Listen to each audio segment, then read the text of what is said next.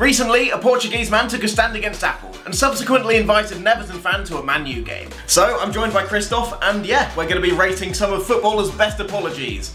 Or at least attempts at apologies. So I personally think we should start with the inspiration for this video, really. of course, yeah. What a boy. Literally inspired this video. The kid was shouting abuse at him, right? I'm pretty sure the kid was shouting your your in fairness, it does sound like he deserved it, but you just can't do that, can you? So this was his apology. I think it's pretty weak as apologies go. Yeah, he's invited an Everton fan to go and watch a Man U game. Like, has he not suffered enough already? We could maybe go gentle chuckle just for the spectacle of how it happened. I think probably gentle chuckle's fair. You know what, sticking with the Man U theme, the Bruno penalty miss. Look at this absolute essay. Gary Neville just went in on it, like he, he was not pleased about this. When Aguero panenkered and missed his penalty and then did his apology, that was like a little bit understandable because he panenkered. Bruno's literally just taken a normal penalty, like he's not even done his hop. What's he apologising for? Missing? I think maybe solid effort. It's just the idea that he's missed the penalty, he's put it over the bar and like gone home and gone, Shouldn't have done that. I should not have done that. I should not have done that. On the topic of penalty miss apologies, Sergio Aguero from, from a couple years ago. This one's funny because how it's worded, it's so like heartfelt. I do feel like this is a, quite a strong one. Fundamentally, he's still not panenkering for his ego. He's panenkering to try and score. He's trying to think, what's the best way I can score here? And he's thinking a panenka, the keeper won't expect it. The keepers always dive to the left and right in pressure situations. It doesn't make sense. Why are you apologising? Didn't City go on to lose lose 2-1 and that's why it also like because uh, this would have made it 2-0 and um, then obviously they went on to lose so this is a lot more justified than you know missing out on one point against Aston Villa. I'd say too genuine or gentle chuckle for this one. I think too genuine. Actually can we can we revise the Bruno one like I think that should be in too genuine as well. I can get behind that. It was really funny but I don't feel like as apologies go it was a good one. The Lukaku interview. So this is what he said about uh, about his interview in which a couple of weeks after joining Chelsea he said how he'd love to return to Inter Milan. Oh no this hasn't aged well. Obviously it's up to me now to restore your trust and I'll do my best to show commitment every day on the training ground. Didn't he get like six touches against Crystal Palace about a month ago? So this was when he was in Italy for something. Like I think it was international duty or something. He just did this interview out of nowhere. Yeah, you can just tell he's, he's completely fishing for a move home already. So this one's a bit different to the other ones we've seen so far because this is stuff that he said in an apology interview. so he did an apology oh. interview to apologise for the interview. Oh, I think he gets points for that. Yeah, this has actually come from his own mouth, hasn't it? I think maybe solid effort for this one. I do feel like he, he was actually sorry and it was just dumb. I think we should go for a nice uh, juicy one next. Wayne Hennessy. Oh. do you know what's even better? Why do his eyes look like Nazi zombie eyes? Feels like it should be accompanied with a yeah. There's a lot to dissect here. Hennessy did not know what Nazi salute was. How is that the excuse that they've gone with? it is said that Hennessy showed a lamentable degree of ignorance about Hitler, fascism, and the Nazi regime. How? His argument is basically, I wasn't aware that World War II happened. So Hennessy said he waved and shouted at the person taking the picture to get on with it and put my hand over the mouth to make the sound carry. There's no way. no There's way. absolutely no way. If it's just the arm, that could be interpreted in other ways, but it's the moustache as well. All we would say, at the risk of sounding patronising, is that Mr. Hennessy would be well advised to familiarise himself with events which continue to have great significance. You know how most clubs, like when they bring in like a foreign player with no knowledge of the language, they'll hire them like a language coach. Like I just love the idea that Crystal Palace had to hire like a historian a just to yeah, just to teach teacher. Wayne Hennessy about World War II. Our first absolutely glorious. I think so. This one is uh, one that we've covered in at least one other video, but it just had to be included once again. It's, it's, it's gotta be. Yeah, that has to be up there. So the first part of the apology, the first paragraph, that seems genuine enough. You know, he's apologised for, for the performance. It's the bit at the end that really just screws it for him. Yeah, you had us in the first half. Don't say it got tweeted from your pocket while you were driving. Sometimes feels like at PR agencies, they like spin a wheel of excuses and just pick out whichever one hasn't been used yet. I think this one surely has to go in the top as well. Yeah, I think so. I didn't even know about this until I was doing a bit of research. Christian Benteke, uh, when he was leaving Liverpool, he accidentally announced that he'd signed for Burnley instead of Crystal Palace. I did not hear about this. No, no, sorry, he, he signed for Burnley FC. He's literally wearing like Crystal Palace colours and everything. This is his apology. Again, this is amazing. Oops, my bad, lol.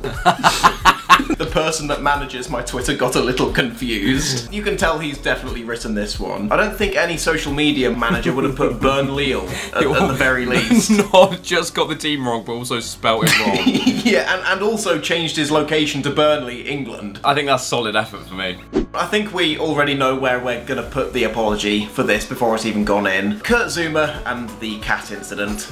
I'd like to assure everyone that our two cats are perfectly fine and healthy. Well, the RSPCA did not believe that. Nah, that's a terrible apology. I don't buy that at all. Yeah. Again, there's nothing you can do to interpret that any other way. It is just, it's animal abuse, and they're laughing about it. Personally, I was in the camp of you're a Premier League footballer who people look up to. I don't think West Ham should continue playing him, but they did. Like, footballers have done worse and continued with their careers, haven't they? I think we can just say this one's going in soulless PR, isn't it? Yeah, you just gotta hope that that cat didn't get the zoomies very often. Another incident that I'd forgotten about until I think um, someone actually suggested this. Jamie Carragher and spitting on that uh, guy and his daughter. Jamie Carragher there, look. 2 1, mate. A lucky Jamie, lad. 2 1, lad. It's the way the 14 year old girl goes Stop it. at the start, like really trying to stop him going up and berating Jamie Carragher, and then she's the one that gets his bodily fluids all over her. It comes out of nowhere as well, like it kind of looks like he's just laughing, and then bam, hits him with a spit. I remember him apologising quite well about this, like he apologised quite profusely. He actually did apologise to them in person, in private as well, by the sounds of things, which I think there's points for that. I feel like he apologised quite well, so maybe gentle chuckle.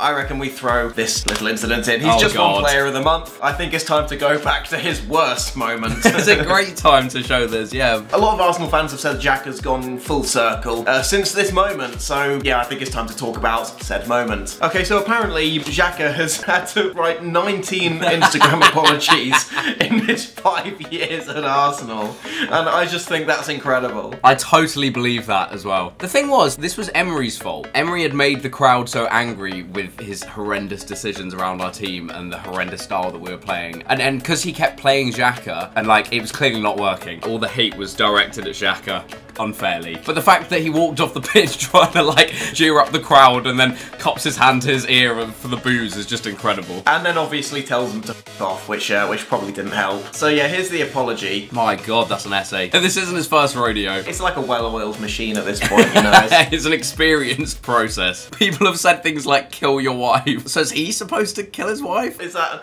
an order? Yeah, I don't think that's a threat. Yeah, it's just an order. So what do we reckon for Granit? I think I'd say solid effort because it just feels like you say a well-oiled machine. There are a depressing amount of footballer apologies relating to um, them cheating on their spouses, and I think I've got the best couple here, starting with Anthony Martial. I feel like this wasn't really that well known until he apologised for it as well. I wouldn't have known about it if it wasn't for the apology. It's, it's the way it's worded. I would like to apologise for the evil that I have been able to do. He's apologising for uh, like having the option of cheating. He's not apologising for cheating. He's like, I'm sorry that I was able to cheat in the last few months. I'm sorry that I had a really good offer. I'm sorry that she was in heat. Like, it's the exclamation marks and the emoji at the end. Like, sounds like he's trying to put like a you know a light-hearted spin on things. You know, sorry for the evil I've been able to do these last few months. Won't happen again. it might do. The evil I've been. this is definitely him, surely not like a PR person. Like this is surely come from his own fingers, if you will. Yeah, I think so. Um, sorry. So yeah, I, I think this one could potentially be up there and, and absolutely glorious. I it's think funny. absolutely glorious. Yeah, it's a funny one. Obviously, next up we have to have a certain Mr. Giroud. I apologise to my wife, family and friends, and my manager, teammates, and Arsenal fans. The poor wife. Arsenal fans getting that mention at the same level as his wife. That's amazing. I think the main reason he was apologising to like the Arsenal fans and team and stuff was because the photo was taken at like 3 a.m. before like Arsenal were due to play Crystal Palace or something, and then Giroud goes and does this. Wow, yeah, he's not had much rest, has he, by the by the photos? Yeah, I love the fact that Arsene Wenger's statement, he said he looked a little bit tired recently. I want to see that in absolutely glorious. There's no way it goes anywhere else. oh yeah, this one's going up there, definitely. So this next one is Mauro Icardi. I think this is his wife of eight years. Uh, he had two kids with her. Then he went and cheated on her. They were going to get a divorce or something, and um, he wrote her a love letter, and that is his apology. Strap in, because uh, this one's a good one. So he's writing saying, You have signed away everything that we dreamt of eight years ago. The things we wanted to do together and to build a future. Oh, and because she wants to get a divorce, he's saying that she's out of line. Brilliant. Well played, lad. But this letter won her back, apparently. Yeah, th- apparently this worked. Mauro has pulled a masterclass here. I don't know how he's done this. How has this poor woman been manipulated this badly? I'm not interested in material things. I always gave those things to you. I'm a millionaire but dressed in H&M and Amazon clothes. what? I love the idea of him sat there writing that out like this will win her back for sure. H&M's not on the same level as Amazon clothes. H&M's like a respectable place to buy clothes. Amazon is so much further below. He's disrespected H&M in this love letter as well. this is when it just turns into okay, there's gaslighting, and then there's like pouring lighter fluid all over her, and then torching her with a flamethrower. Hope you'll be happy with your material. yeah, yeah, materialistic. Hope you'll be happy with your Amazon underpants. This is such a confusing love letter. It starts off as an apology, then it just devolves into like this incel love letter of actually this is all your fault. And then at the end he, uh, he goes back to apologising. I'd maybe test yourself for bipolar disorder if I were you, Mauro. What a roller coaster. Yeah, I mean, I can see why I won her over. Probably just the easiest thing to do after all that is just to say, alright, fine, I'll f***ing come back to you. I reckon Icardi again has to go right up there in Inglorious. I think, yeah, he's written an apology and he's called her materialistic, an asshole, and I hope you find a footballer who's at 100th of me. So yeah, a, a modern day Romeo and Juliet, really. Next up, I've got Thomas Partey's red card against Liverpool, uh, very recently actually. Partey had just come back from uh, AFCON. Uh, he wasn't even supposed to play, but uh, he made it onto the bench against Liverpool. 2-0 down, 75 minutes in. Um, Arteta decides to unleash Thomas Partey to try and turn things around. And then two yellow cards in three minutes sends him for a nice early shower. After this little incident, he put up this apology. Oh my god, yes, I remember this. I remember it because of the branding. I love the Thomas Partey branded uh, apology Yes. paper. Yeah, so again, it's a bit of an essay for being sent off in an already lost game. I think it gets some serious points for the graphics. He's not just written this in his notes and stuck it on Twitter. My captain does it in an official statement. I like the fact he's just kind of signed it at the end, like, uh, yeah, that's something like I would have said. I reckon gentle chuckle. I think it's faded from memory a bit, but this is just truly awful. Juventus women. Oh my god. Where do we start? This has gone past, first of all, the player that's done it, the photographer, the social media manager of Juventus that's posted it, probably other people at the club have seen it happen, and then probably other people at the club have approved it go up as well. So there's probably about five people that this has gone through, and they've all thought, yeah, this is, this is fine. There is at least five layers of racism here. and this one's not like the Wayne Hennessy Nazi salute where he can try and defend himself, like trying to say it was misinterpreted. There is absolutely no misinterpreting this. Yeah, it's the emoji caption for me as well that really drives it home. And the apology for this, it's not good. We sincerely apologise that our tweet, which was not meant to cause controversy or have any racial undertones, may have offended anyone. They've apologised that people feel offended for what they've done, not the fact that they've put out a very offensive tweet. Yeah, yeah, we're sorry that you've got offended by this. I think that has to be in the bottom. That's a terrible apology.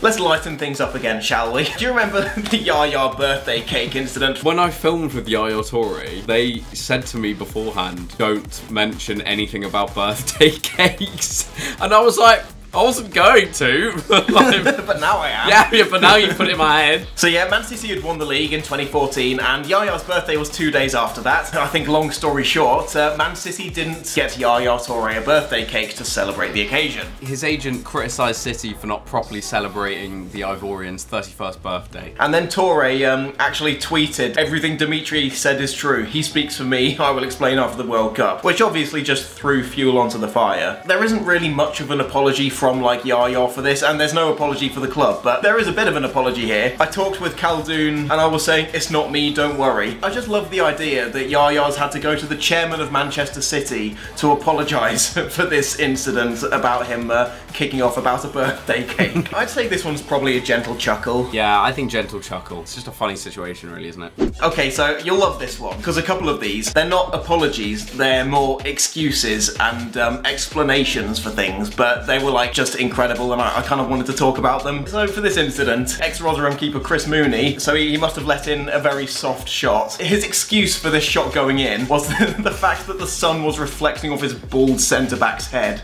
into his eyes. I just read this and I just thought that was just hilarious. I've enjoyed that, yeah. You know, a nice short and sweet one. Where are we putting Chris Mooney and his uh, bald centre-back excuse? I'll put that one and gets a chuckle from me. So I found this one while I was like looking at some of the uh, various apologies for cheating on spouses. Just take a look at this. Carlos was stopped by police when he was running naked through the streets of Huamanga. When questioned, he said that he could not stop as he was chased by ghosts. He later confessed that he had made up the story so that his wife believed it because in reality he was engaging with dirty ladies and they had mugged him. The wheel of excuses is really f***ed him there. I really want to put this in solid effort just because it's just such a bad excuse, but it's also so incredible at the same time. Is there anything else you'd like to add before I um, start trying to wrap things up? I do want to just give a couple of honourable mentions. So there was Ivan Toney in that video saying "F- Brentford. Did he apologise for that? No, but like people putting up fake apologies for him, like what he was going to put up. It says, first of all, I want to apologise to the Brentford fans for the video that's been leaked. It's been taken out of context. A woman said she would hold this wood if I said Brentford, so man was thirsty in it. I was under the influence of alcohol, but that's no excuse. My bad. I love you all, X. Yeah, that definitely deserves an honourable mention. Let's throw Toney in there.